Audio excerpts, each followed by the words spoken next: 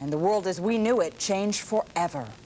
Most of us will never forget where we were when we heard the tragic news that President John F. Kennedy had been assassinated and in the last 27 years, the mystery of his murder has only deepened. Many experts who have studied the evidence agree Lee Harvey Oswald couldn't have acted alone. And now, as incredible as it sounds, one man claims to have pictures, pictures proving there was another assassin. Janet Rose has the inside story of what could be the most sinister cover-up in history. A bright autumn sun and warm crowds embraced him that fateful day in Dallas. John Fitzgerald Kennedy, the 35th President of the United States, movie star handsome at the peak of his popularity, looking ahead to another campaign, another four years in the White House. But this tour through Texas would tragically be his last, an end to the Camelot dreams he symbolized, a sudden, startling, shattering final act to America's age of innocence.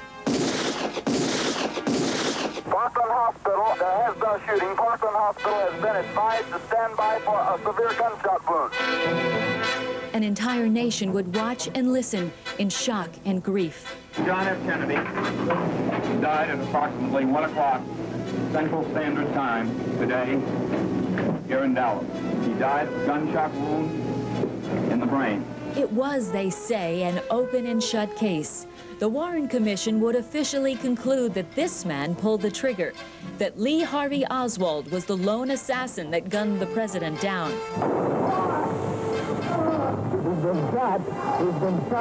A bullet in his belly would silence Oswald forever.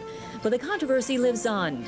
The notion that the president was murdered by one gunman acting alone has fueled criticism and spawned an army of skeptics for over a quarter of a century.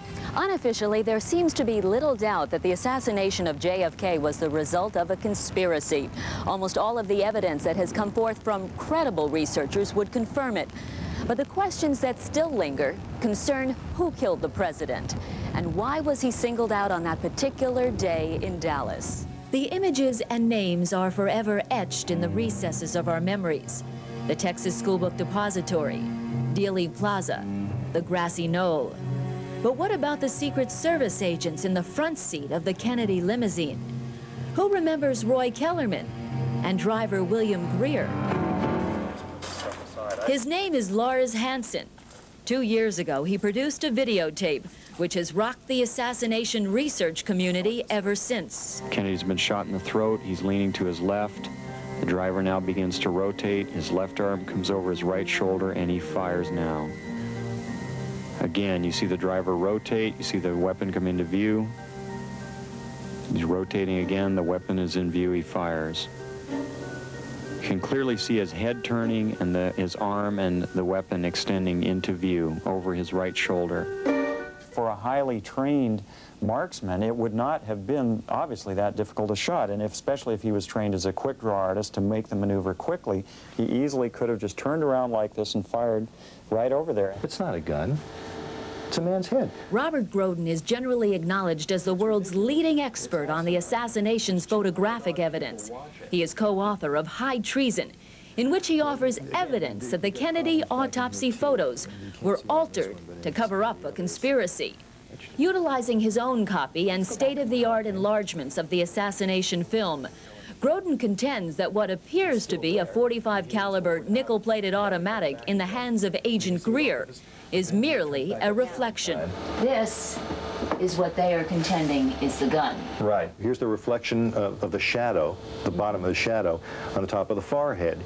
This is light reflected sunlight off the forehead. This is the top of uh, Kellerman's head. This is the top of Greer's head. Here's Greer's ear. So you don't buy this chauffeur, Secret Service agent turning around and firing a gun at Kennedy? No way in the world. It's pure disinformation. It's got to be disinformation. No one in their right mind could believe that. He says he can prove that Bill Greer didn't shoot anybody, didn't shoot Kennedy.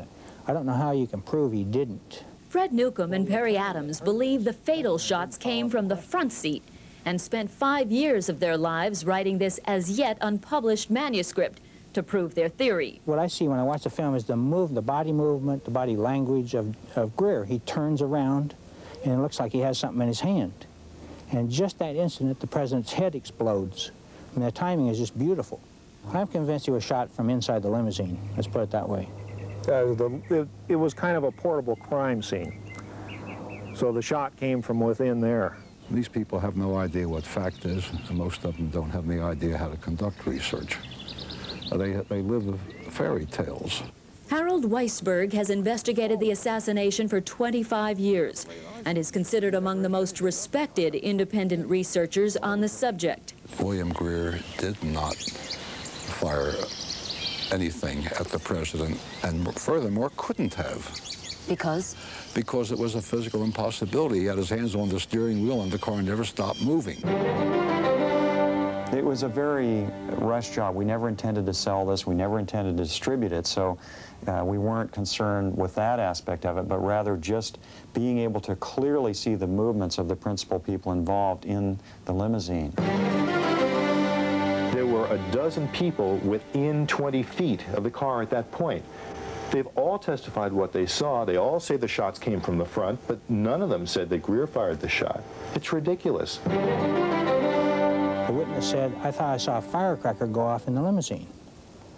Another one said, I saw guns in the hands of the Secret Service agents in the limousine. I can't believe that anybody in their right mind would believe this story, but they're promoting it. So they're either doing it for personal gain or they're doing it for, um, for the purpose of, uh, of, of disinformation. Illusion versus reality, conspiracies and cover-ups, lies and distortions. So many years after those bleak November days, all we're left with are tapes and theories. There's a possibility the Secret Service or some element of the Secret Service might, might have been involved. But to make that assumption rely on Bill Greer shooting the president is asinine. I think the president was killed as the end product of a conspiracy. I think those who benefited most were those who wanted a different president. And those who knew that Lyndon Johnson would be a hawk when John Kennedy was a dove. Will it ever be resolved? It's a good question. That's a good question. Clearly, most of them agree there was some kind of conspiracy, though they don't agree on Greer's role. What does Secret Service agent Greer have to say about all this? We'll never know.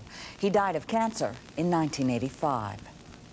Coming up on Inside Report, they're video vampires who spend their night stalking news and sometimes get lucky.